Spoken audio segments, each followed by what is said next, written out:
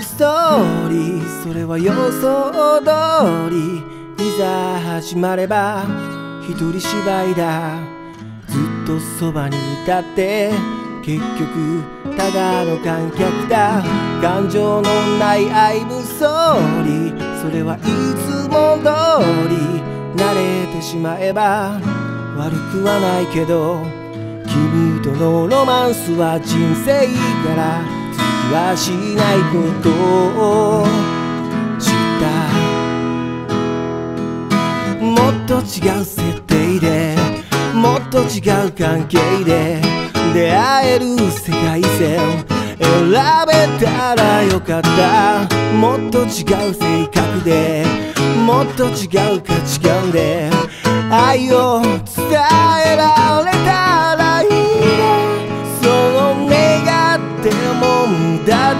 からグッバイ君の運命の人は僕じゃない。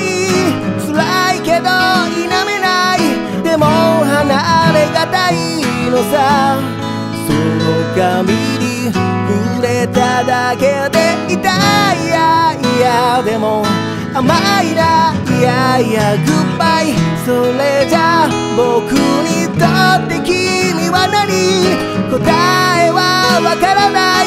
わかりたくもないのさ。たった一つ確かなことがあるとするのならば君は綺麗だ。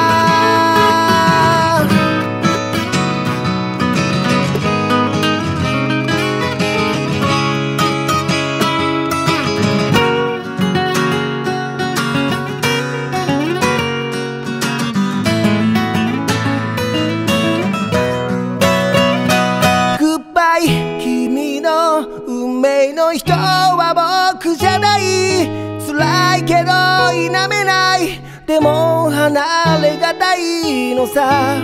その髪に触れただけで痛い。やいやでも甘いな。いやいやグッバイそれじゃ僕にとって君は何？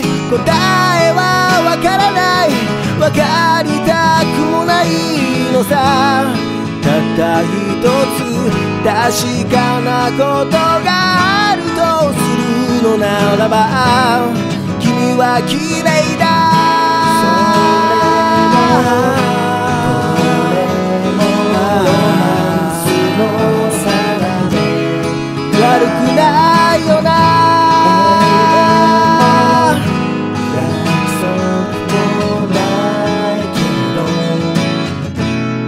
とても綺麗だ。